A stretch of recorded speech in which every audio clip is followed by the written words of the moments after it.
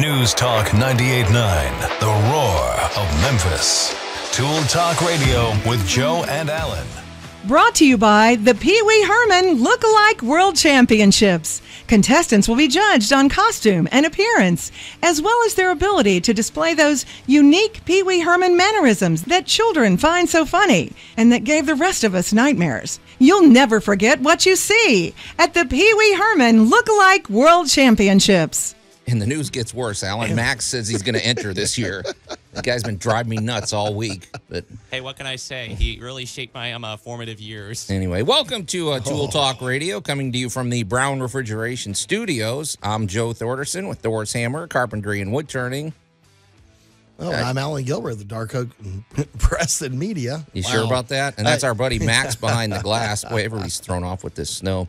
You can call or text us at the Big M Roofing and Remodeling Hotline at 901 683 0989. And of course, we invite you to go to the uh, Tool Talk Radio Facebook page and check out all the action over there, uh, including the fact I've already posted the must have item of the week, Alan. I'm, I'm not letting this, this blizzard uh, hold me back, man. We're getting things done. No, Joe, everyone's blown off today because of the fact I'm wearing the Pee Wee Herman suit in studio. Okay, we're moving along from Pee Wee Herman. Okay, man, we got other gags to pull here. So, well, Alan, apparently, Speaking It's gonna be one of those it's days. It's just going to be that day, Joe. hey, Alan, apparently, uh, our cinder block discussion last week tri- uh, it didn't trigger a few people. It had some uh, reaction, so we may we may follow Well, up I'm going to that a say triggered. We uh we we apparently hit a uh, cinder block issue and or nerve. Okay, all right. So we're gonna we're gonna do a little Mm-hmm. follow up report on that. Also, Alan, drainage drama. Oh my gosh. This is what I've got. Drainage drama. Please be a good neighbor. and I think I Oh. just triggered uh, a, a lot of listeners with that one. Uh,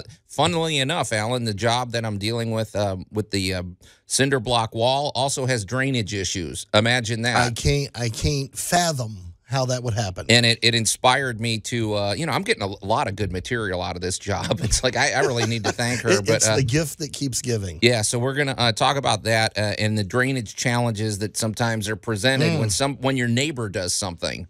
Um, I've and we seen all know pe- how that works. So One of the best ones I saw was a company do it to themselves accidentally. it, it can happen. Oh, yeah. Drainage is a big deal. So, uh, Critter Wars. Apparently, we've got a Mm. spider invasion on the way that uh, Alan's going to discuss.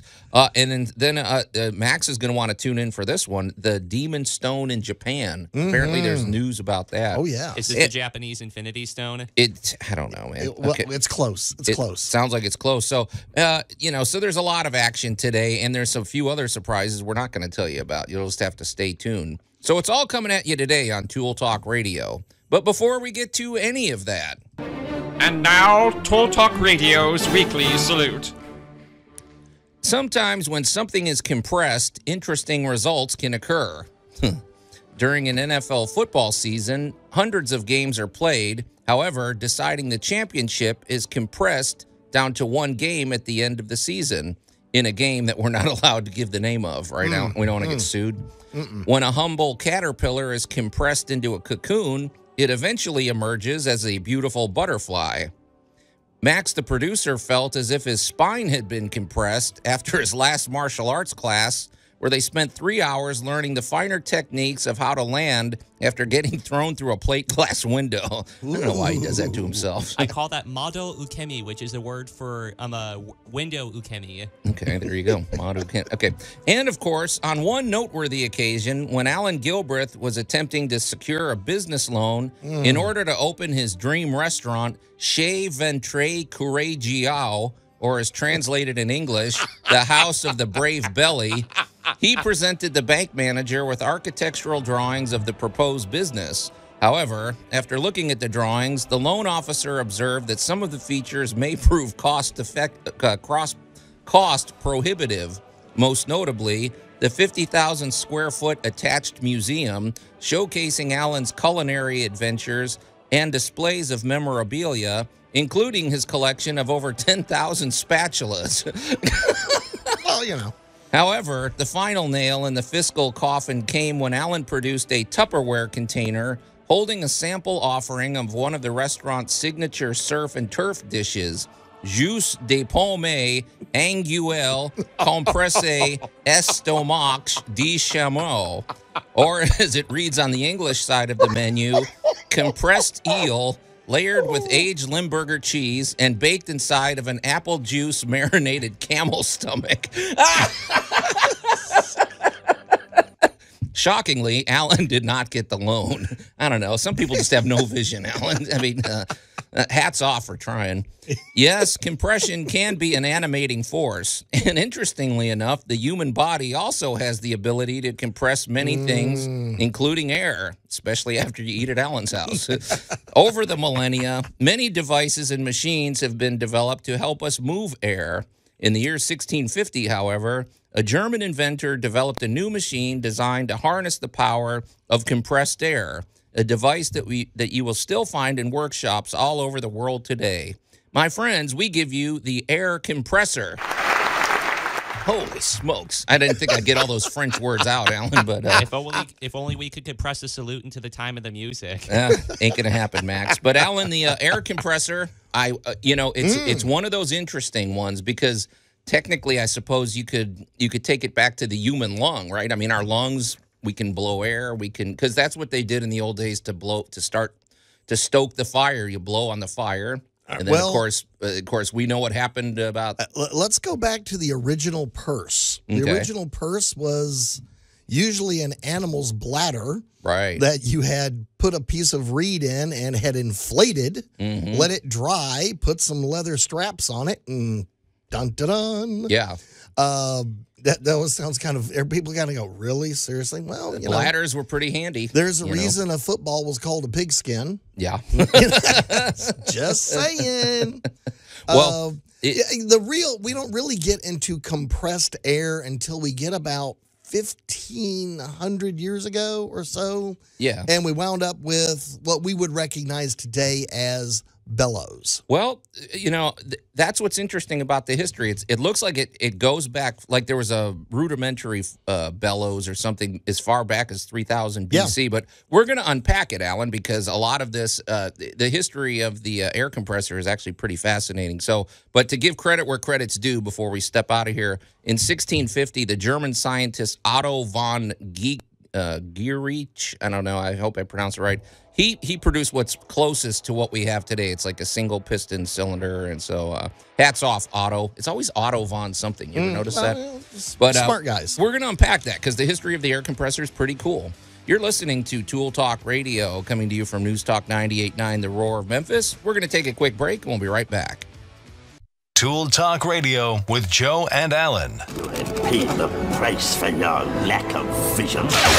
News Talk 98.9, The Roar of Memphis. You know, in fairness, Alan, I think one thing we can't be accused of is a lack of vision. I mean, Oh, that's true. You mentioned lack of vision in the last segment. I gotta throw this in. Okay.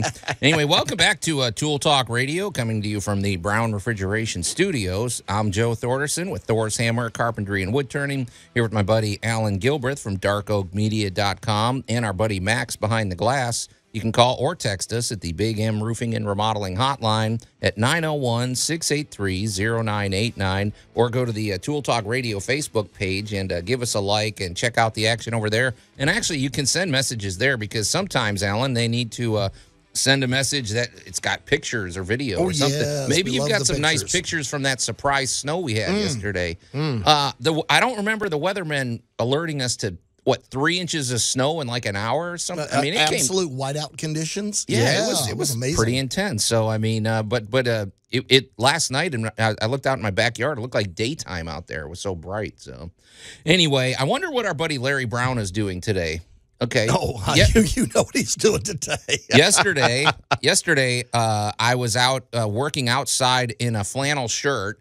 Uh, then by the end of the day, I had a winter coat on, Mm-hmm. and it was uh, blizzard conditions. Or so, well, I don't want to get carried away, but it No, was, no, I will. I will freely tell you, having been caught in a blizzard up north, we had an uh, that we can honestly say we actually had a real thunder blizzard. it got it got really windy then cold so i'm like Oh, yeah. okay well so i mean conceivably people might have been using their ac yesterday and then now they they've got their uh, heater AC on. to heat one so day. larry's uh i'm sure he's on he's on duty today Oh, my but gosh. um you know if you do need any hvac if you have any hvac needs or especially if you want to clean the air in your home uh, especially with pollen and just the general stuff that's in the air here in the Mm-hmm. mid south uh, get in touch with the good people at Brown Refrigeration. They're top notch. They have a great culture. We love to celebrate Yes. the culture at Brown Refrigeration. It goes down to every technician that's going to be out in the field. When they show up, you just feel like you're in good hands. and if you have any issues uh, down the road, they're there. You, they're just a phone call away. Great people, and they have the uh,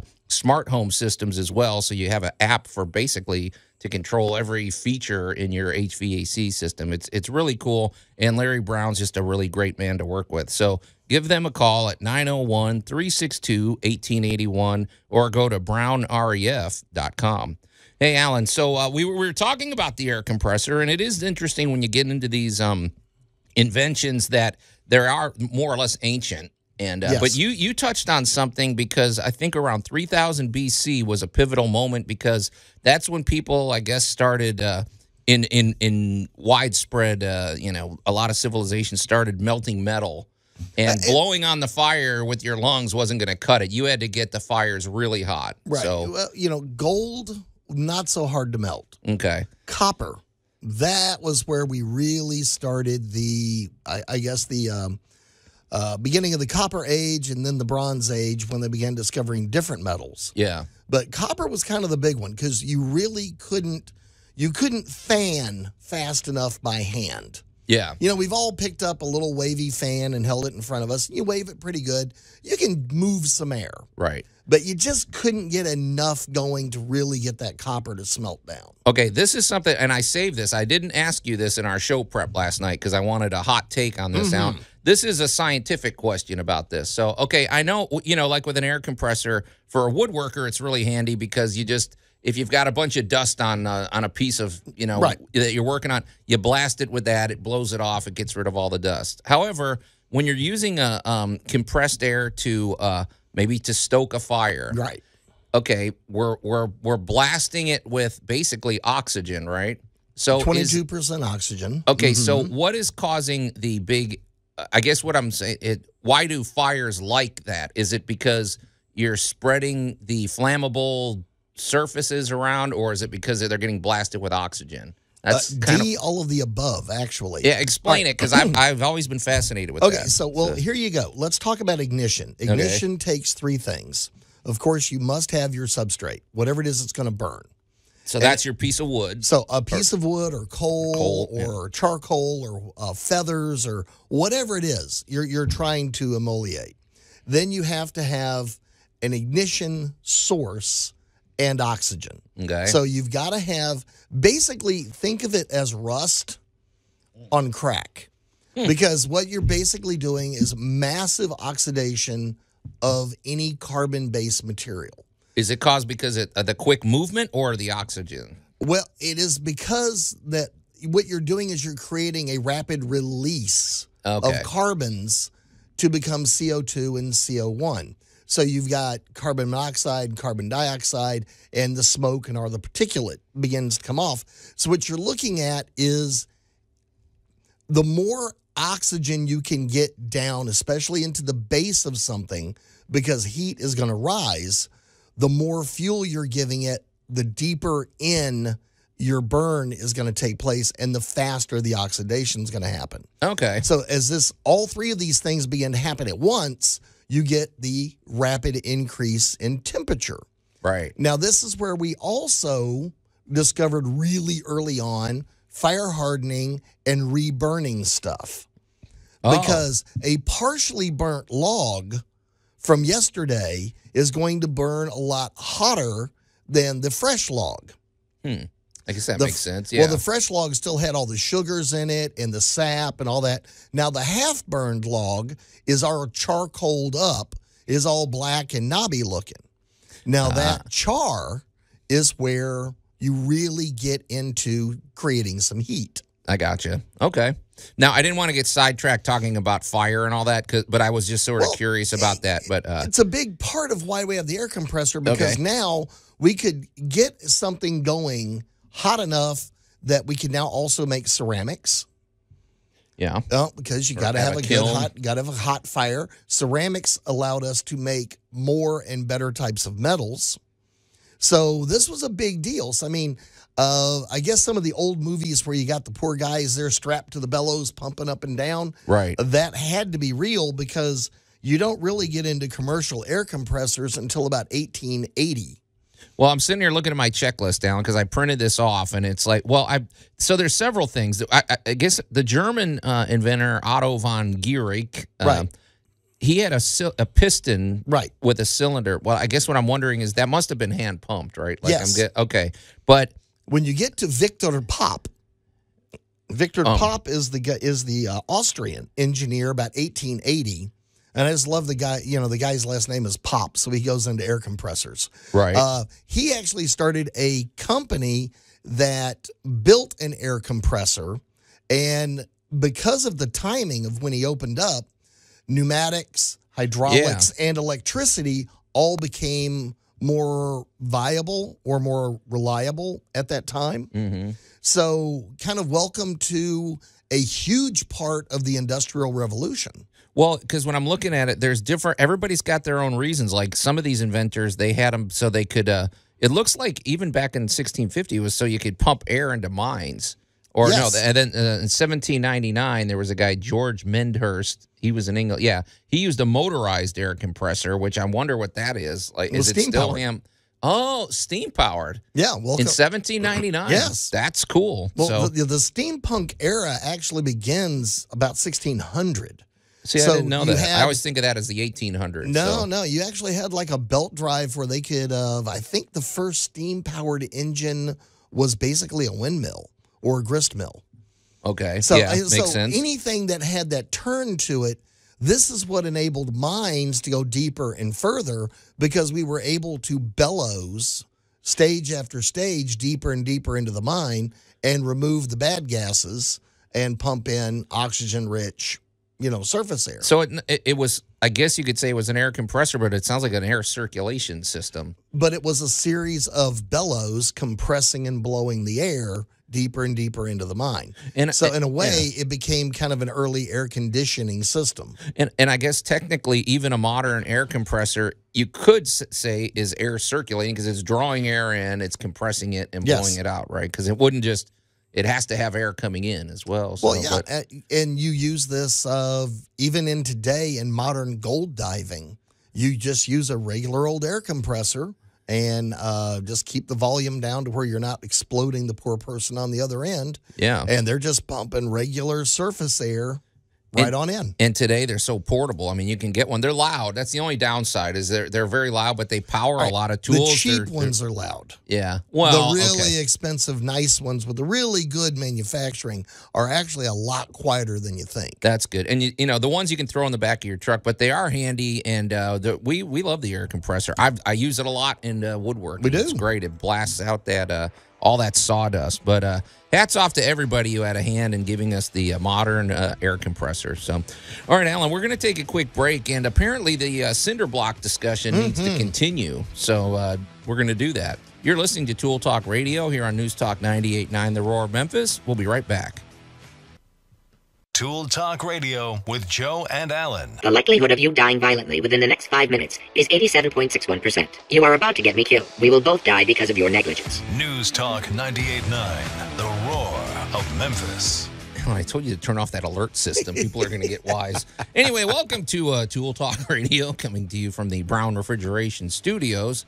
I'm Joe Thorderson with Thor's Hammer, Carpentry and Wood Turning, here with my buddy Alan Gilbreth from darkoakmedia.com and our pal Max behind the glass. You can call or text us at the Big M Roofing and Remodeling Hotline at 901 683 0989. And of course, we invite you to go to the Tool Talk Radio Facebook page, give us a like, check out all of our past episodes. Uh, well, they're linked. You know, there's a lot of ways to check out our past episodes. There are indeed. Alan's platform is YouTube. We have we have the platform battles going on here on the show. I'm a Spotify man. Uh, listen however you want. I don't care. It's your you know, here's the great thing: dime. you can take us with you. yeah. But either way, I would say this, Al. This is something we can agree on.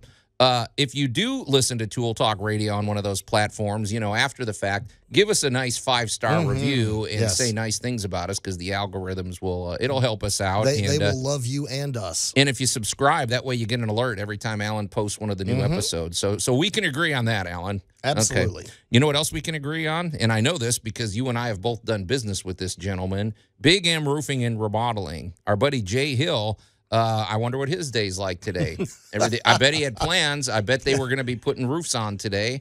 I wonder if they're still going to be happening. So, oh, I forgot about that. Yeah, I mean, everybody's if if you're not in the mid South, maybe you don't realize we got we got hit with a flash snow a snowstorm We last night. pounded. It was yes. weird. It just I you know it looks nice and it was you know interesting. It looks a lot like Narnia out here right now. I'm sure it'll be gone in a day or so. But uh, Mm-hmm. anyway, that I wonder if that disrupted Jay's uh, schedule. But uh, either way, if you've got any roofing issues, and especially if you've got some damage, and it's possible that that damage may be covered by your homeowner's insurance, you definitely want to get in touch with Jay because in addition to being a Master Elite installer, a GA, uh, GAF Master Elite installer.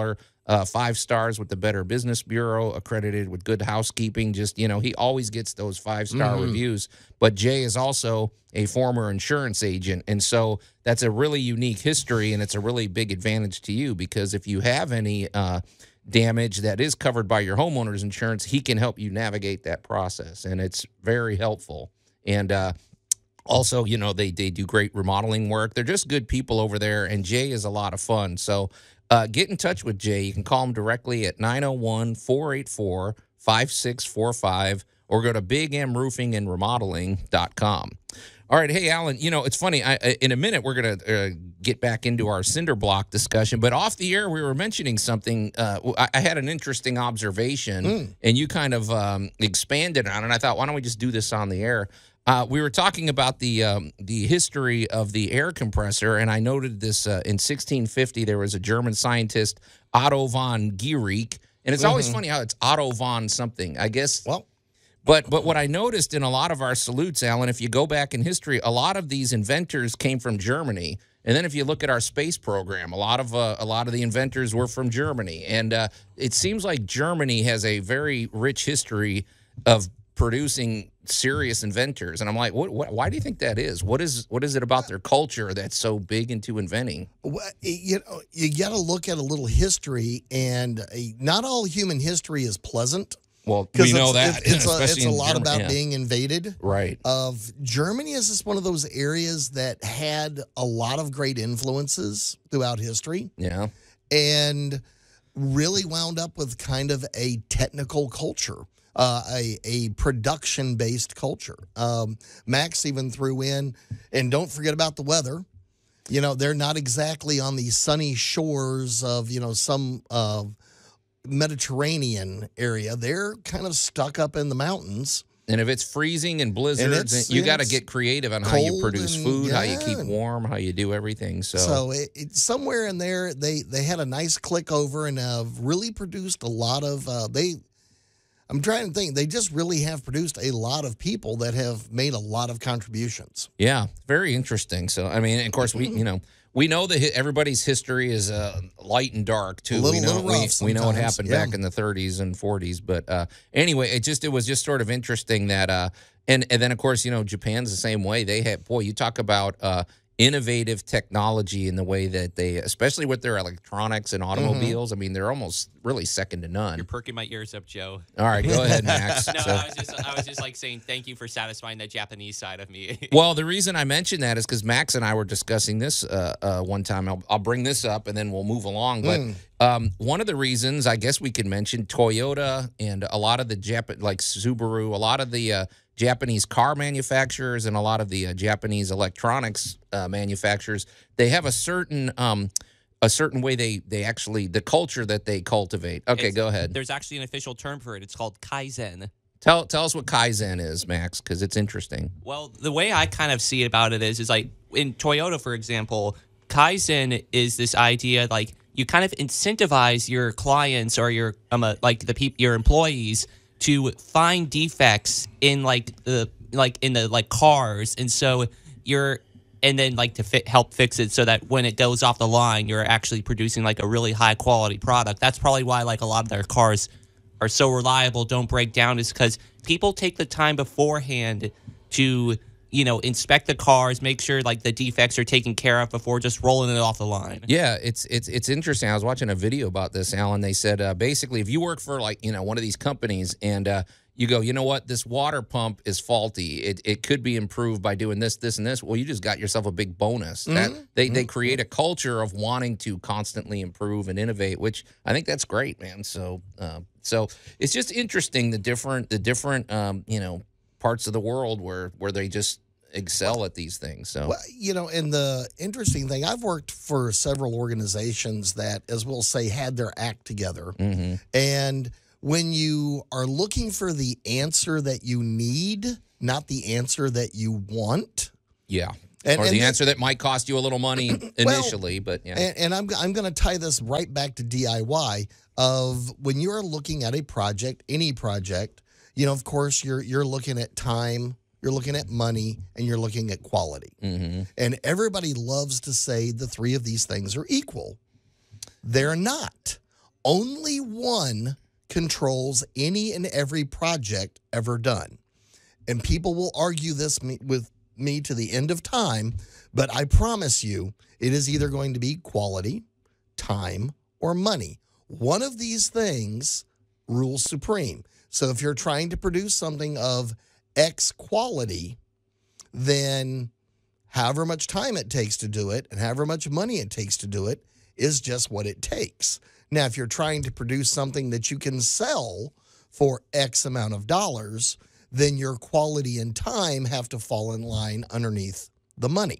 All right, you know, Max, I, I hate to do it, uh, hate to hate to say it again, but I have to agree with Alan. Uh, Alan's right. Well, I just said it in two words, but that is a good point, Alan, because you know we're sitting there. I know this isn't Motor Mouth Radio, but you're making me think of the uh, DeLorean because they had lofty ambitions about what that car was going to be, and then when they were faced with the reality of the the the money that they had to work with and the labor, you know, that they had to. Uh, that you know because they they did them in uh, Northern Ireland where they didn't have a lot of experience with building Right. cars, and so they really they, it was really all about money. It was what they could afford to to make that because the DeLorean is not like a it, it's got its problems. So It- it it's a unique car, but uh, you're you're right. That's probably if if you're a company that's got plenty of funding, plenty of uh, you know R and D, and all the you know you can you can produce something you know Well, using all three of those. I mean, but- I'll tie this all the way back to so, like, you're looking at this bathroom downstairs and you're going, okay, here's what we're going to do. Mhm. Of it's never a bad idea to know exactly what your budget is going to be before you start this project. So, if you've got $12,000 to spend on this bathroom, uh, guess what, folks? That that is the top end. Now, the trick is, what can you? How do you get the most bang for your buck out of that? right.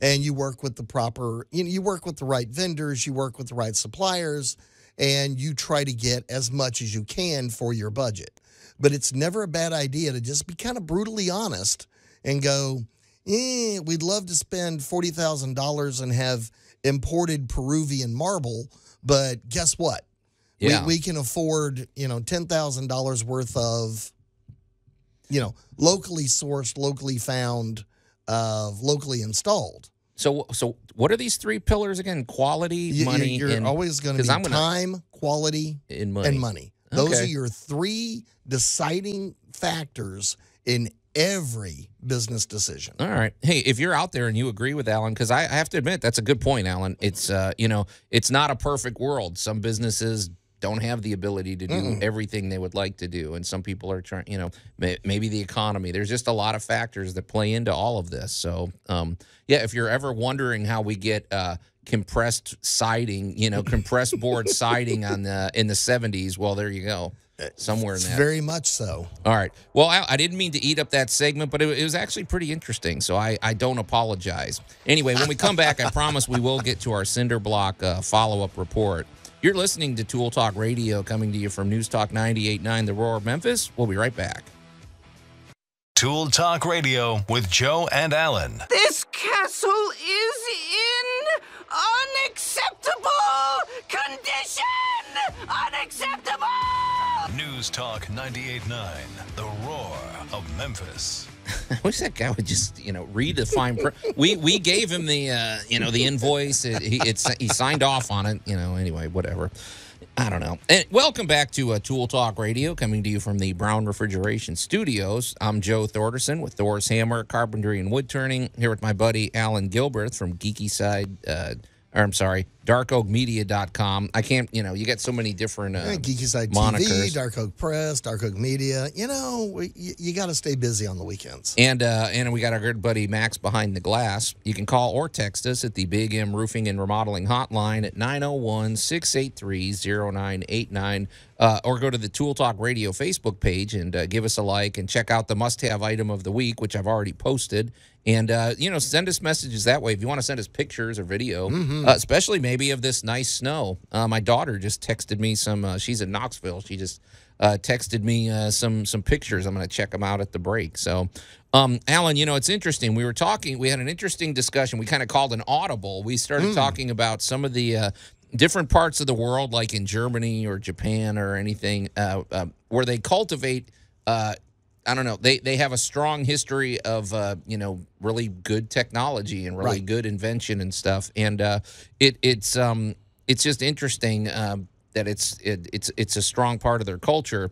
And uh, you know who else uh, has a culture like that in their company? Boy, what a sloppy segue that was. Hmm. That's So- all right. I bet you're talking about Mike Serafolian. yeah, our buddy Mike Serafolian at Tri-State Interiors. Um, they okay, so their focus, if they, like we said, if there was a, uh chain of command, first off at the top of the top of the list is craftsmanship, then keeping a low overhead, then keeping up with the uh, latest technology and being uh, efficient, and then at the you could say under that is uh, sourcing your materials regionally. Yes. We can't say all locally because some of it is not, it, you know, some of it is right here in the Mid South. Mm-hmm. Others are maybe, you know, within a two or three hour drive in different parts of uh, Tennessee. But Mike's just a big believer in that. So if you're remodeling your kitchen, believe us, folks, this is a, it's a big undertaking and you're going to get a wide variety of quotes and a wide variety of cultures uh, at different businesses. Yeah, and so it, it'll, it'll vary drastically. yeah. So uh, Mike Serafolian, for one thing, they serve the whole tri-state area, which is great. And uh, that they, like we say, Mike will uh, he'll come out. They give you a quote, and uh, also they will do a 3D rendering that you can download on your smartphone or your computer and uh, do a, basically a virtual tour of your kitchen. Uh, or bathroom before you uh, do anything. You, once you get the design set, then he will order all of the parts and all of the materials you're going to need, and then they start the project. They don't do it. They don't wait. That's right.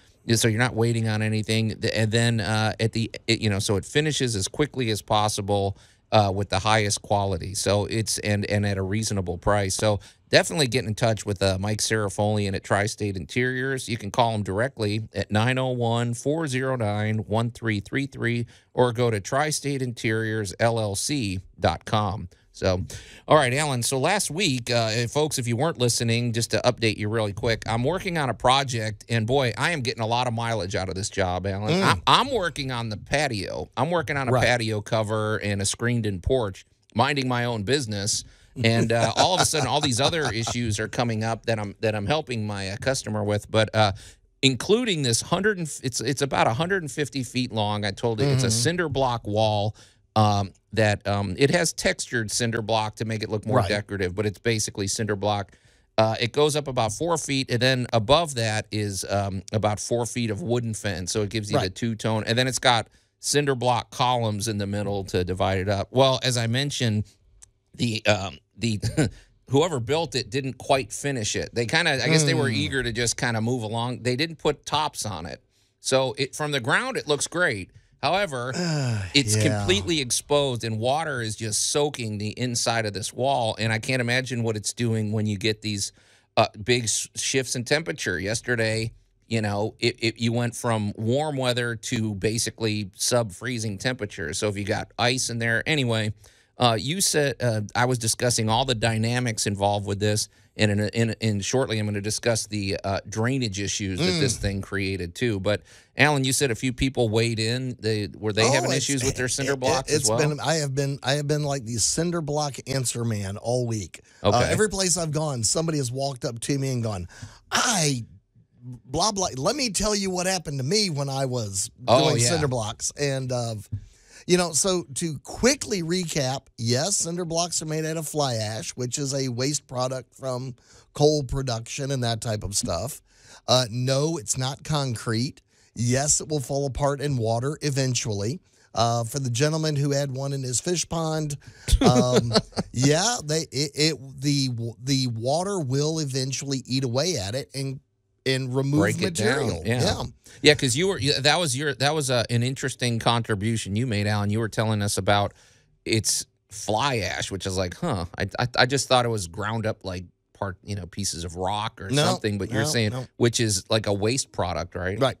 Interesting. from uh, from uh, coal use, and now there's other aggregate and stuff put in there, but basically at the end of the day, it's not a concrete block. no. Now we use them as if they were utterly indestructible, but is you know anybody that's ever dropped one accidentally on the corner will know they actually break. Eh, They're not that hard. Fairly take- easily for something that you think's made out of rock. If you took a, a, an average hammer Yeah. and you whack the side of a cinder block, it's, It's going gonna to give. break. Yeah. Yeah. So, So the big thing is uh, the cinder block. While you know, when we just we just got through talking about time, money, and quality, the cinder block definitely meets the money quality of a cons- of a construction material because they are very rigid.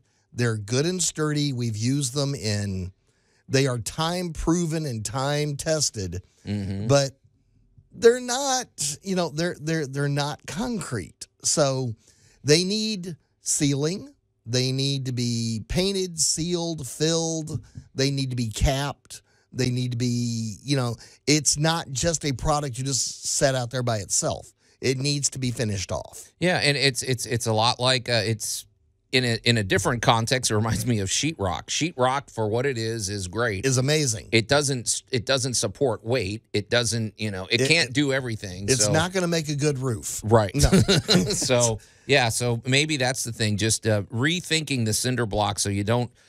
You know, you don't have uh, false expectations, and you just realize it's got its limitations. You know, so. you know especially when it comes to water oh yeah, of that is where our failure is. And being in the mid South, for all right, for those of you listening out west, of you worry about the dry.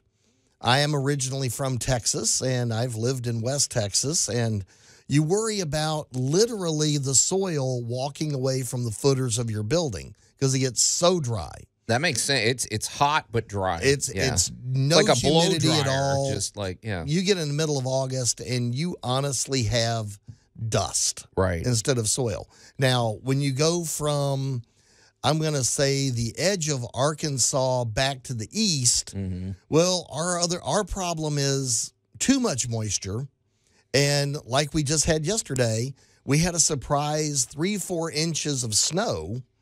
Uh, that is half an inch of rain. Well, I was about to say it's so going to melt gonna today. be quite so a bit of water today. Everything's going to get wet again. And, yeah, uh, and it's good. Now, snow was a good soak in. mhm. It's not like a rapid, ooh, it rained real quick and it drained off. yeah. This stuff is going to seep into every place water can get into today. Yeah. I, I not to I don't want to sidetrack, but I'm curious if this killed off any mosquitoes. That's like the only benefit I could see because a lot of them. I mean, they were out. They've been out for the last couple I'm- weeks, I'm, but sure I wonder if out a few. knocks out a few of them. So, Yeah. but uh, anyway, it's it. Uh, we appreciate you following up, uh, people. If you were if you were any of the people that pulled off, uh, stopped Alan on the street to talk about cinder blocks, we appreciate it. But uh, Alan, uh, in that vein, we're going to shift gears. We're going to talk about drainage drama Oh, because boy. boy, I'm getting like I said, I'm getting a lot of mileage out of this job. So Mm-hmm. to paint a picture, folks, if you if you're thinking of this big long um, this big long brick wall, basically, Right. It goes and cinder block wall, I should say. It's it's a, it goes at the property line. So and it's a really deep property. So it's a you know it goes way back there. So suddenly, what what used to be a wooden fence where water would just flow underneath it uh, is not going anywhere. No. And the other problem is the neighbor on the other side. Well, I say neighbor. It's they built some uh, condominiums right next door, and it's now two feet above uh, her fence. And so she's like in this valley, and it's it's causing erosion and drainage. And this this uh, problem didn't exist when they built the house. When they built the house, everything was drained properly, Right. and and the drainage system worked.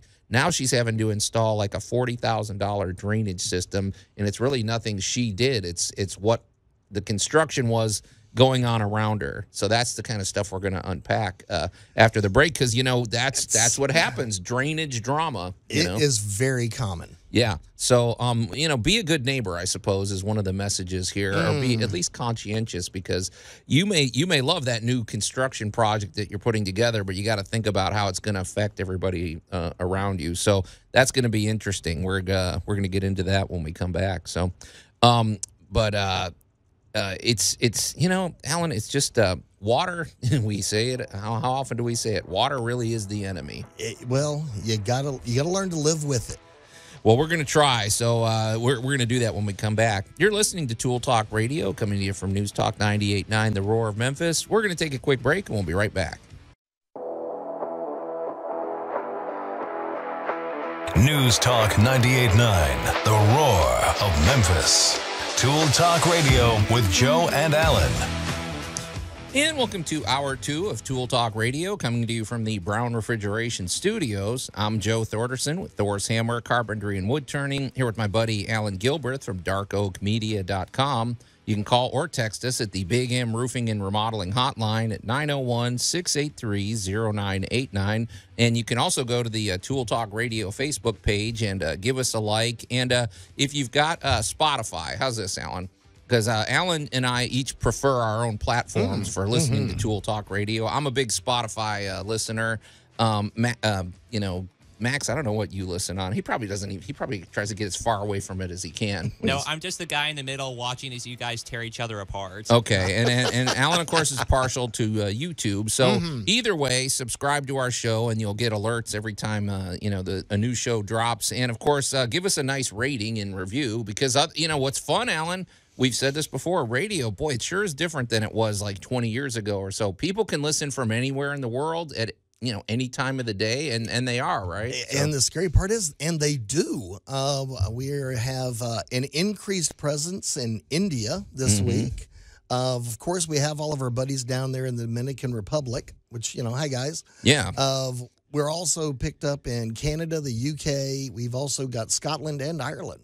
Well, we and that that's where some of our uh, some of our relatives are at. But we uh, got a I'm- few relatives over there, so that helps. if you're out there and you're listening from Iceland, because you know I got Mm. Icelandic relatives, or uh, from Japan, you know Max would love to hear from you. Yeah, So let if us we've got any. Japanese listeners, we'd love to know. So, but uh, it's fun. It's it's really kind of a, an interesting time to be in in uh, in radio. So it is. well, Alan, before the break, um, we were talking about this drainage drama situation that's been uh, partially created by this giant, you know, uh, wall that's, uh, you know, but uh, we've got a caller on the line, and we're gonna, so we're gonna uh, put a pin in that. We'll get to that. We'll soon. circle back to that in Uh, a minute. uh, This is somebody that we met at the uh, home show of the Mid South. Uh, Natalia, Natalia, are you there? I'm here. Hey, Natalia. So we met you and your husband Timothy at the uh, home show of the Mid South, and we appreciate you calling in. You said um, you've you've got an interesting project in mind, and I said let's let's flesh this out on the air because uh, we're all about unique uh, uh, home projects. So tell us uh, tell us what your uh, vision is. We should say. So, um, with the market kind of the way it is right now, we were trying to find something more affordable to do uh, as far as moving into a home and came across barndominiums. Um, so, Barndominiums. other, there you go. yeah. So, other than that, you really can't find any information about them. Um, so, I, you know, was kind of wondering how much they even cost, how different they are than putting up just a regular. I don't even know what you call those buildings. Um, Probably pre-finished steel buildings that you can, you know. there you go. Yeah, uh, but but but what was interesting about this? Now uh, we should say you and you and your husband are a younger couple, right? Uh, you know, I don't know what era we call it. They're not millennials anymore. They're, They're too not young old for like that. us, Joe. Right, but you um but I like the out of the box thinking uh thinking. I don't even I think we were even somehow even started talking about uh yurts and things like that. But uh but you like the what is it about the barndominium that appeals to you, I should say, besides just the fact that it might possibly be more affordable. What is it about the layout of this thing that that you appreciate? Uh, mostly that, you know, eventually as we get older, it can become more of a shop for my husband to work in, or maybe have a second floor if they can have a second floor. Uh, mother-in-law um, suite to house one of the parents or something like that, just that it can have use after the fact. Okay. After we maybe build another actual house. Not that it, that's not an actual house, but you know what I mean. Yeah, I think it's interesting because uh, the way the way a barn is structured, it's it's designed to have a lot of open. It doesn't really have any load bearing walls, right, Alan? It's mostly supported based on the shape of the roof, and you know you're going to have a second floor, obviously, and you can it can probably be a sort of loft situation. But uh, I guess the trick is finding a barn that's useful enough, or you know sometimes building it from scratch might even be be the answer but i think it's all about an open floor plan and being modular what do you think alan Well, all right, we're gonna let me back up to the roof. Okay. Of all right, one of the projects I'm working on right now is a renovation project, and the original structure underneath. All right, we're going to separate the structure from the roof. Okay, so everybody just bear with me. okay The original building underneath the roof uh, was a bit of a hodgepodge. A little old building, and then some new stuff, and then a couple other things got added on, and a couple other things, and wasn't very well done. Right Okay, so we're going to talk about the hodgepodge. However, the roofing system they put over this was much like a standard barn, aka the roof and outer walls all bear the load and the support. So that left the entire interior basically up to your wildest imagination. You could even go in and, if you were modular enough, you could add a wall later, you could remove a wall, you could change things however you wanted because you weren't worried about any of those structural weights right. pressing down on the inside. yeah. So when she started talking about the barndominium, I started thinking about a project I saw in West Texas, which was almost exactly that. yeah. Uh, they had taken a very large barn style roof and had basically built four condos in it, two side by side and back to back. yeah So they all pre existed under this one big roof. The roof really is only nominally attached because it's bearing its own weight, it has its own exterior walls. yeah So that left the whole inside up to your kind of dream. Another project I saw was a gentleman that had bought a warehouse and turned part warehouse, part house, right. And had just gone in inside and basically built a little mini house inside the big building. well hey natalia how much research have you done on this? Is this just sort of a, a and, and is your husband in agreement? That's kind of a big uh, factor here. Oh yeah, okay. Yeah, so, he's so, in agreement. so how much uh, how much have you looked into this? Because it's funny alan mentioned the roof. I was starting to think about the foundation but uh, what what have you what have you discovered uh, Um, so far, I have found like companies that you can kind of buy the buildings from. I haven't. I don't know that we considered that there might already be buildings that, up on property that we could just fix up, but um, uh, you know, found companies that you kind of buy this kit and you put it up yourself.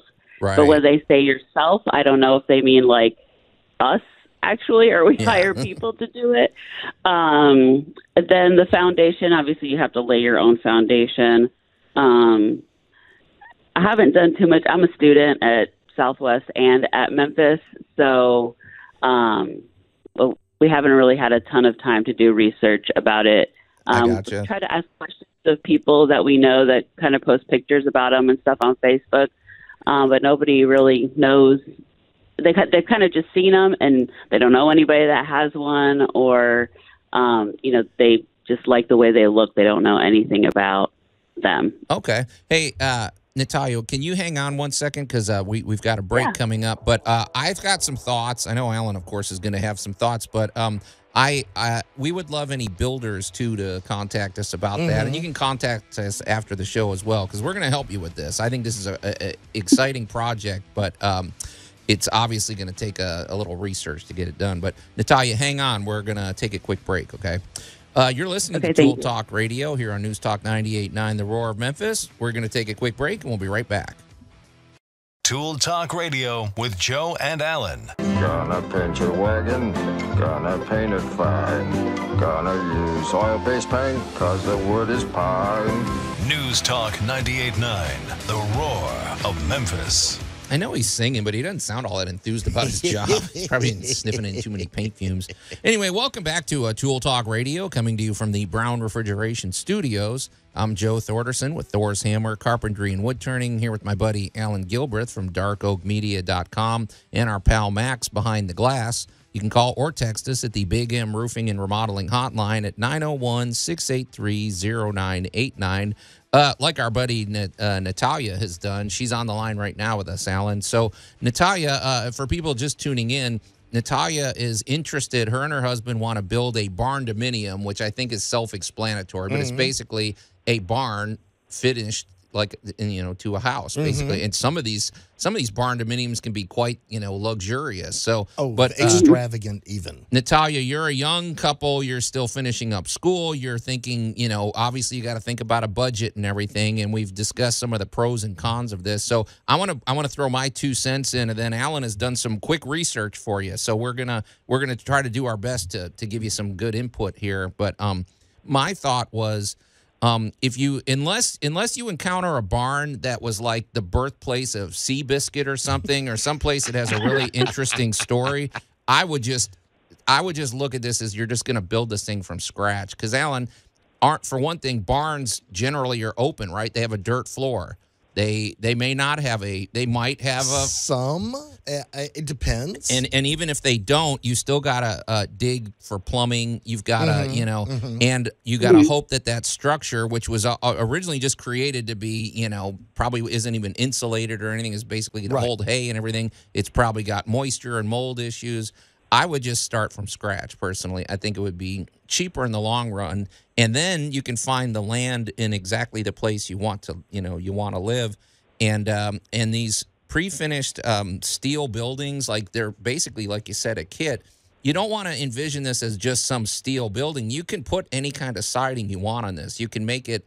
You Mhm. can design it almost to exactly to your taste. So this the, the the beauty of the steel is just the structure that it gives you. It's a big solid structure, and you can do anything you want on the inside. You can put walls anywhere you want because none of them are load bearing, and they're they're much more affordable. Well, they're more affordable than you might think, but that that's my two cents. So what what do you think of that, Natalia?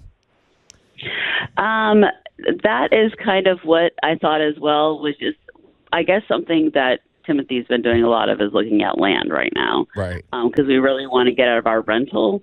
Um, and so I, I guess another thought was how quickly, how, I don't want to say easy or quickly would it be to get one of these up?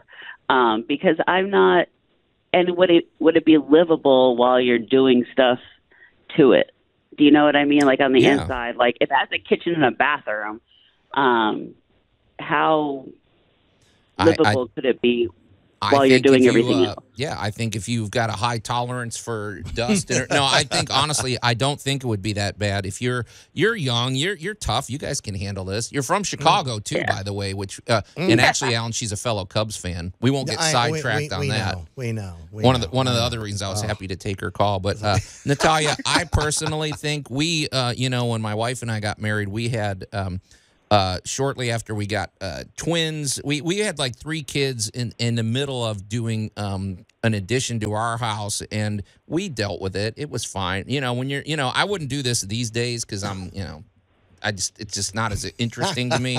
But I think you get the the maybe maybe you get the uh, the plumbing in, you get the kitchen situated, you get your bathroom and bedroom, and then just sort of build around it. And I I love the modular effect of this. I think I love the way you can change the layout and everything. It's it's it's it's a cool. You know, I will say one thing for your generation, you're really open to new ways of uh, you know, new housing. You know, like I said, people your age are living in yurts. People your age are living in, you Mm. know, funky loft apartments and things like that. But uh, you know, I, I like the notion of maybe just building from scratch and, and finding some land, Yeah. you know, that you can do.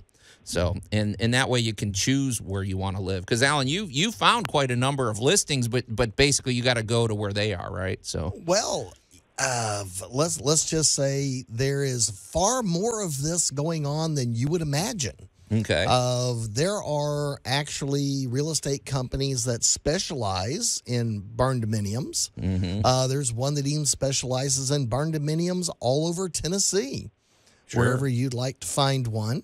Uh, there's a number of companies willing to sell you plans, a number of companies willing to sell you kits.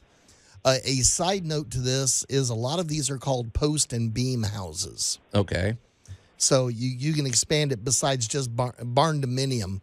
The, of this looks like it is. Now I knew this was a big thing out in Texas, but it also looks like this is a fairly big idea going on in East Tennessee.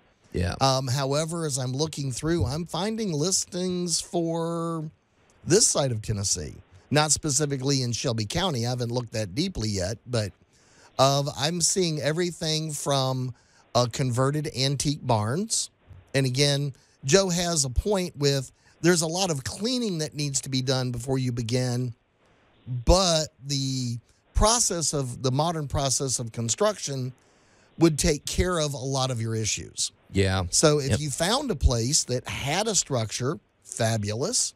If not, of there's there's as many options to this as there is for any other form of construction. It is basically just choosing, uh, as they like to say on the DIY shows, you're just choosing your bones. Well, and and uh, what you do on site of that is really going to be up to you. let me throw this out to our other listeners. So if you're out there, maybe you've maybe you've put together a pre-finished uh, steel building, or maybe you've uh, maybe Mm-hmm. Done you've a done a barndominium, maybe you've done a post and beam, maybe you've uh, had a good experience or a bad experience, or maybe you're a builder. We uh, get in touch with us. You can still. Um, contact us you know even even when we're off the air you can leave a Mm-hmm. message and we'll we'll we'll connect you with uh Natalia, you can call us at 901-683-0989. And uh, but Natalia, I feel like um I it sounds like you're steering towards maybe a newer construction, which I, I personally back you up on that. I think that's a good decision. But is that is that where you're going with this? Yes, it is. Definitely. Um, we were definitely thinking going newer because, like you had mentioned about not knowing about, um, you know, how old, well, we would know how old the structure is, but what else is going on in there. And um, it, you know, we could kind of make it whatever we want, but I guess you maybe could do that with anything. I'm not sure. But um, we also want to have a basement. Oh, So we'd have to. Mm, okay. Hang on, I'm sorry, you triggered me. And I grew up in Chicago, and I know all about basements. But if you're living in Tennessee, why do you want a basement, Natalia? I'm very curious about that because I, I don't I- want a I- basement myself. But I um, you know, the basement was just kind of it, the basement wasn't like a storage place to everybody that you know I knew it was always like where the family gathered or um even though I you obviously have the rest of the house, but if you have a huge family, you know, the it was the place where um It's the rumpus room. like I said, where our family gathers, where we had parties, where like Yeah. one of my uncles has like basically his man basement down there. hey, Natalia, we're coming up on a break, I, I, and I didn't want to. We don't want to eat up the whole show on this, but you did trigger me with the basement because I grew up with basements. I grew up with Mm. finished basements. It's a different culture up here. I, we're gonna wrap up with this, uh, but but can you stick around for one more segment, Natalia? yeah, yeah, no, I'm good. Gosh, yeah. she's really triggering me today, Mhm. Alan. All right, but we're now we're now we're steering into basement discussions. Oh yeah. You're listening to Tool Talk Radio here on News Talk 98.9 The Roar of Memphis. We're going to take a quick break and we'll be right back. Tool Talk Radio with Joe and Alan. Just a few more seconds of mental preparation and I'll be painting this wall. News Talk 98.9 The Roar of Memphis. A lot of painting discussion going on today. It, the, the conditions couldn't be worse. Snow, ice, rain. No wonder you need mental preparation there. No kidding. Anyway, welcome back to uh, Tool Talk Radio, coming to you from the Brown Refrigeration Studios. I'm Joe Thorderson with Thor's Hammer, Carpentry, and Wood Turning, here with my buddy Alan Gilbreth from darkoakmedia.com and our pal Max behind the glass. You can call or text us at the Big M Roofing and Remodeling Hotline at 901 683 0989, uh, like our friend Natalia has done. Natalia's, uh, we're going to get back to our discussion with her. I thought we were going to wrap things up, uh, but she suddenly triggered me right before the break with her with her basement talk, her reckless basement talk. But uh, before we get to that, we're going to talk about some people who are not reckless in any way, Alan. No, the good your people. barn dominium will need them. Yeah, your barndominium may want this. Uh, the good people at uh, ShelfGenie of the Mid South, basically, if you've got kitchen cabinets or bathroom cabinets or a pantry, uh, so, uh, these these uh, applications work in a closet. You may want this in your linen closet in the Oh, hallway. goodness, yes. These things are great. They have uh, full glide out systems that are custom designed to your home because we all have seen it. We you open that kitchen uh, cabinet door and everything is thrown together and it's a big mess and you can't even see what's in the back of it.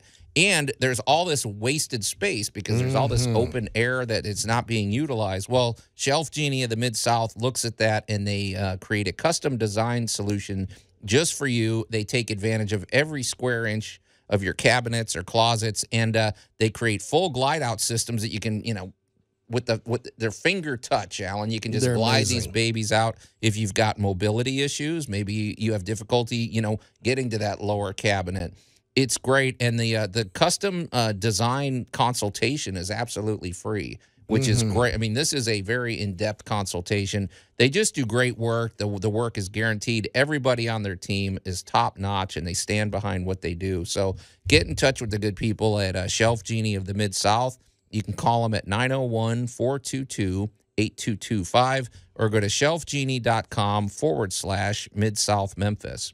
All right, Alan, uh, we, you know, we're just minding our own business. We had meant to talk about uh, cinder blocks and flooding and drainage and everything. And then uh, our friend Natalia called in. We met her at the uh, home show of the Mid South, her and her husband, uh, Timothy, talking about barndominiums. And we said, hey, this might be an interesting thing to discuss on the air. So she she called in and, and uh, Natalia, it looks like you've agreed to go ahead and maybe go with a newer construction, but right at the end of our discussion in the last segment, you started talking uh, this crazy talk about basements. And Crazy talk. oh my gosh, so so Natalia, I grew up in Chicago. You and I are fellow Cubs fans. Uh, you know, I'm a little annoyed with baseball people right now, but whatever. So, but um, then you started talking about basements, and from what I heard, it sounded like a lot of sentimental stuff. Well, you know, people in Chicago had basements and they were finished, like a like our friend Stu McVicker that has a mm-hmm. Club mm-hmm. 400. It's a Cubs man cave down there. But here in the in the South, I'm I'm not a fan of basements, Natalia. I'm sorry, I don't see a lot of basements. All the basements I've seen leak and they smell mildewy, Alan. And I mm. don't even know how many builders have experience building basements out here. I don't see a lot of benefit, Natalia. I'm sorry. I would I would be more inclined to go get a yurt and stick it behind the barn and let your mother-in-law stay there. but what do you are, are you married to this idea of a basement, Natalia? I I don't like it. I'm I mean, sorry. I've always wanted one. Okay. Well, it might be pricey. I'm just Um, saying it well, might change the, yes, the price yes. a lot. Water is going to be not your friend. We Yeah. have we have too much water to really have just kind of a freestyle basement from some drier part of the country. Yeah. So there is a lot of engineering that goes into making a basement dry and safe. Put it up on a hill. That Get at the actually peak of a hill Yeah, and, it uh, actually but- helps a lot. Yeah. Yeah, I, I don't, you know, now this would be interesting, Natalia, because we would hope. Can you stay in touch with us throughout this process? Will you keep us Yeah. posted on this? But uh, start Absolutely. getting quotes, and I'd be interested to see the difference in price between a quote with a basement versus just pouring it on a slab. So, but um, I uh I guess I never really considered.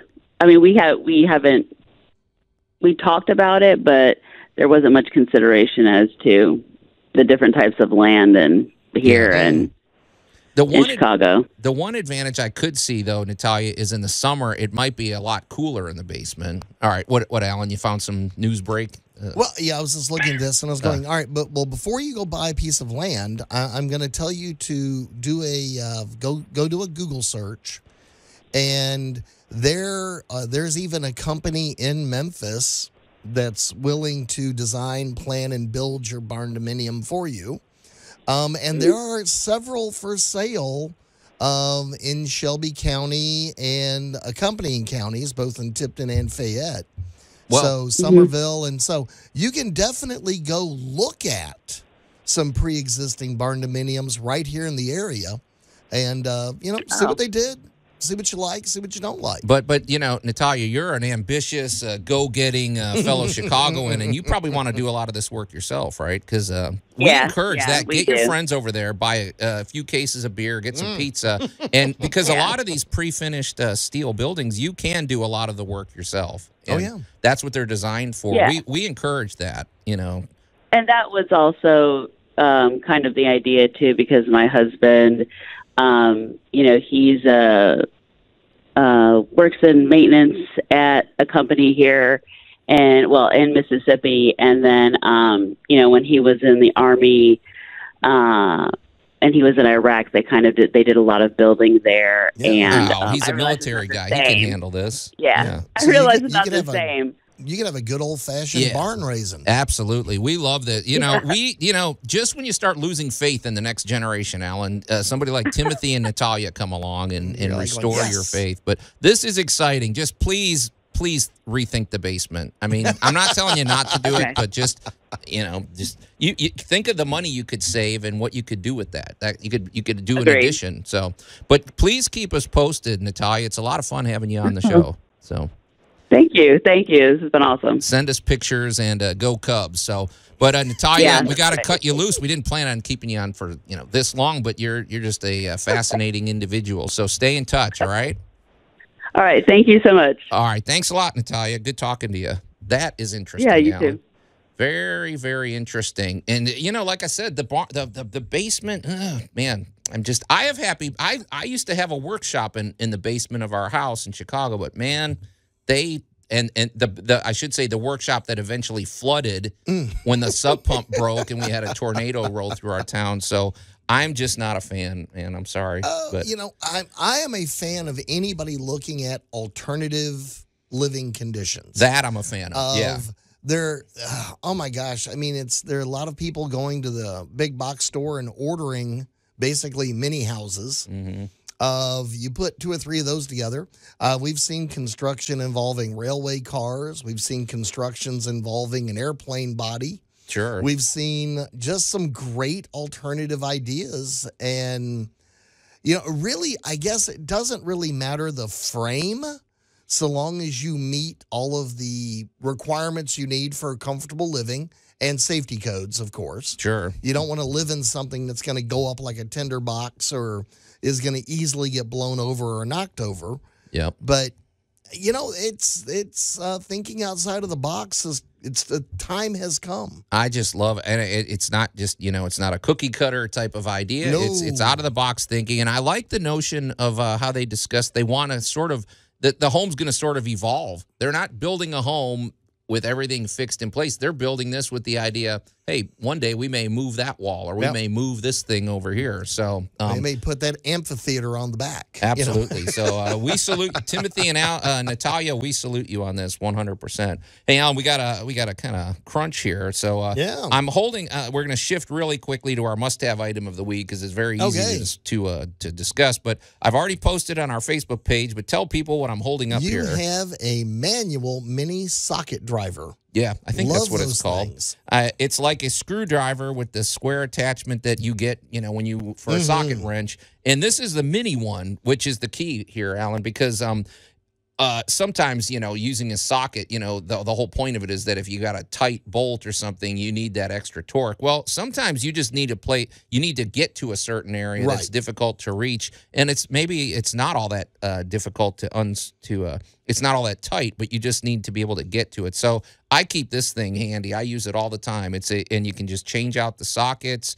It's cheap. I mean, this thing I I bought the.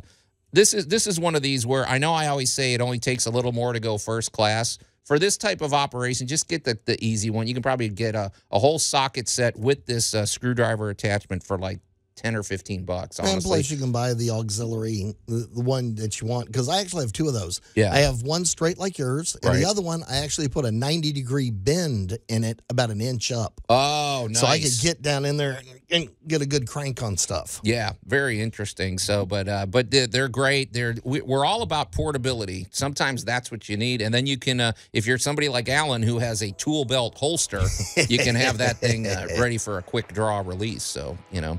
Anyway, well, Alan, we got a lot to get to in this last segment, but it was fun talking to uh, to Natalia. That, that was an interesting discussion, but uh, we'll get into it uh, when we come back. You're listening to Tool Talk Radio, coming to you from News Talk 98.9 The Roar, Memphis. We'll be right back.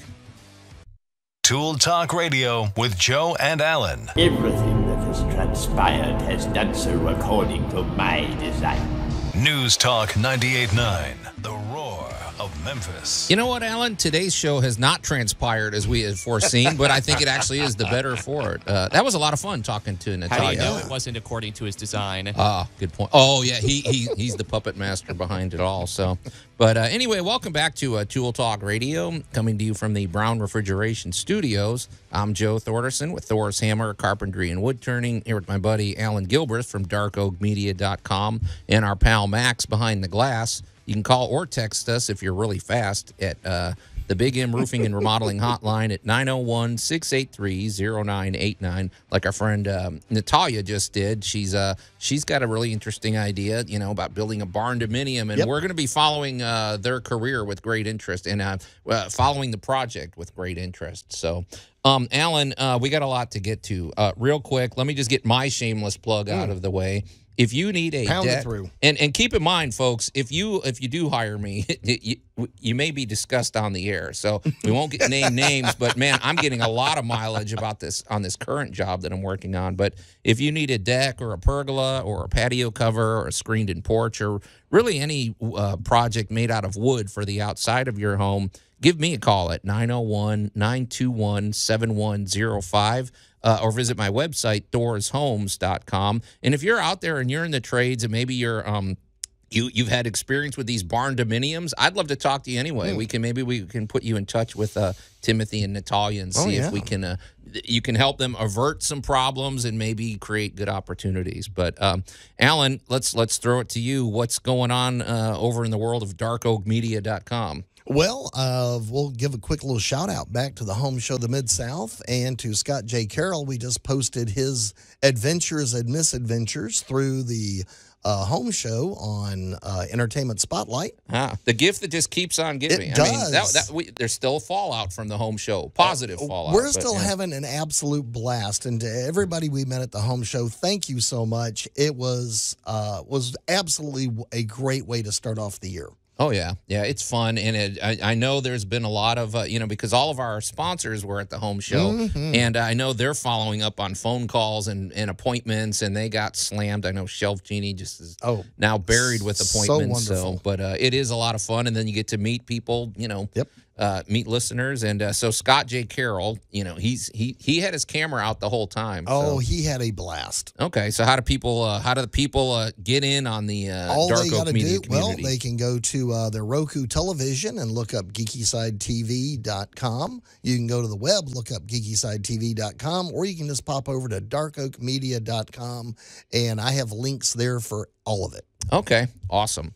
Well, Alan, er, earlier in the show, I talked about this drainage drama that has been. Uh, if you're just tuning in, I don't have time to recap it all, but let's just put it this way: uh, this this customer where I'm working, that she lives in a home where when it was built, they didn't have any drainage issues.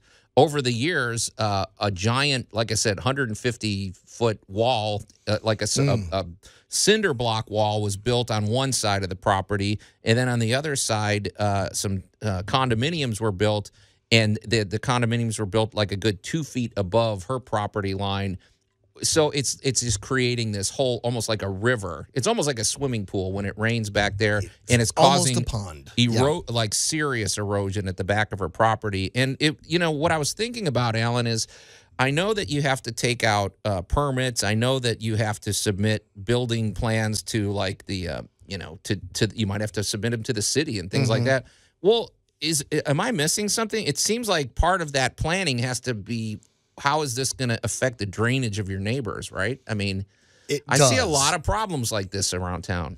Of well, for a while of around the Memphis area, that really wasn't paid that much attention to. Yeah, no kidding. So there are going to be a lot of older properties that you know maybe you had good drainage when the house was built in the 60s mm-hmm. of but your yard level has raised the area has changed other construction has gone in and the other thing that happens is unintended consequences Talk to me. so you have always wanted one of those beautiful steps going up your hill. Well, when they come in and cut in and they rearrange all of that and put in all of that block and all of that stone, well, now it doesn't react the same way it used to. Right. Uh, now you may have just built yourself a series of rice paddies going up the hill. you know, Of another big one is like your decorative wall. You put in a great big you you change out the type of fence mhm. and let's say you do have a lot of drainage from your yard and all of the grass clippings and stuff all wind up stuffed under the edge of the fence. Well, now your yard doesn't drain. No. So you really have to uh, you really have to look at this periodically. Well, another thing too, Alan, is uh, sometimes you'll see uh, the, you know, okay, this is usually, I guess these were created for the purposes of spraying your home, like uh, for for termites and things like that. At the bottom of a, an exterior wall, you'll see spaced out a bunch of little holes, Right. And they stick the sprayer in there. Well, if you decide to go ahead and build yourself a, uh, pour yourself a uh, concrete patio right at the level of these uh, holes. If you didn't notice them, well, now instead of the the water just running down the wall into the ground, it's going to be It's now finding its way into your right. house. So, Yes. boy, it's I I drainage is just such a big deal, especially here in the mid south, and and and it might it might only be an issue. Once every two or three years, when you get that really big torrential rain, but it is going to happen eventually, you know, Well- or it might happen every time it rains. Well, but- there are a lot of people that have uh, drainage concrete areas through their backyards. right, Yep. And if you happen to be the yard that has the actual drain access point, if that thing gets blocked up, congratulations, you have an instant pond. Mhm. The other issue that you run into periodically around the area is that the concrete pathways under your yard have failed. Talk And about now- that because that's that. Then it leads to foundation problems. Well, things, uh, so. you hope you don't have a foundation problem. Of in one case that I know of, it's on the back side of the yard, but there's now a hole. Mhm. You know, you'll walk back there and you now have honestly a sinkhole in your backyard where the water from your yard is draining off and going down through your yard through the hole into the concrete drain. yeah, it's Or water's backing up from the concrete drain and is undermining your yard. yeah. It's, So, welcome to a lot of water motion. It's it's rough, man. So, but uh, it's just something to think about, and I feel like you just got to be a conscientious neighbor because you you know, like I said. It affects everybody around you, especially if you're uphill from somebody. You should, Well, you know. if somebody decides to put in a lot of raised gardens, well, Mhm. that changes how the water moves around the yard. Yeah. Yeah. I mean, there's a lot of things I've run into issues where they want me to uh, build a deck. And uh, one one in particular, I, I hate to say it, I had to talk myself. Um, I, I didn't. I had to talk them out of basically a job for me. They wanted to pour a concrete foundation and have me build a patio cover, and I said, I think this design is going to be problematic. And I said, I really don't know if I want to be a part of that because they were talking about a pretty serious a pretty serious slab of concrete, and I Right. really don't know what happened to that job. I just said, I, I maybe you better get a different team involved in this, but it's like I just couldn't do it in good conscience. I'm like, this is gonna, this might even flood your house. Well, if you do it. that's So a big like, thing where sometimes you need an architect to look at your yard before you do what may be a landscaping job. mhm. Because one thing I've run into commercial buildings all the time is the building being flooded because it has either too little mulch or too much mulch. right, yeah, And they're forcing the water back into the building instead of letting the water drain away. Yeah. Well, I don't want to run out of time before I throw this at you, Alan. So this home, um, uh, I'm not naming names, of course, but uh, this this uh, she found a really good uh, landscape team that's going to help her with this. Mhm. This thing's going to cost. It's a forty thousand dollar drainage system. The side of Yeah. the house has now got. They had to dig everything out. They put layers of felt and gravel and drainage. Uh, you know, tubes and everything, Yes. but that's a maintenance thing too. You can't just put those in and forget about them, right? I mean, now with you're clay soil. no, now so it's a continual maintenance thing, but I'm Yes. hoping this gives her some because it's it's a lot of work. They're having to rebuild where it's eroded back there. They're digging up the whole yard, and honestly, a lot of this probably could have been avoided. It's kind of you know, it's Uh, disappointing. Just be you know, if you're building out there, think of everybody around you, please, people. And, and think well, think about yourself too, because you Yeah. got to have a really critical eye and look at it and go, you know, if it looks like water might go there, water probably will. Yeah, it's going to get everywhere it wants to out here. So, well,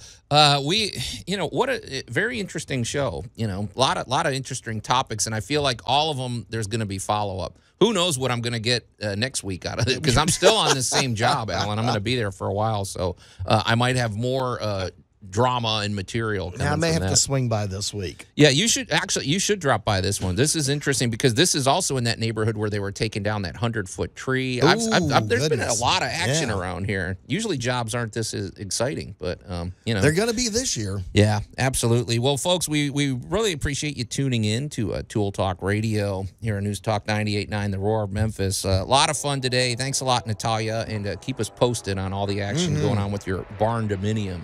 But it's time to get out of here. So, on behalf of my friends uh, Alan Gilbreth and our buddy Max behind the glass, I'm Joe Thorderson. Thanks for listening to Tool Talk Radio, and we'll see you next week.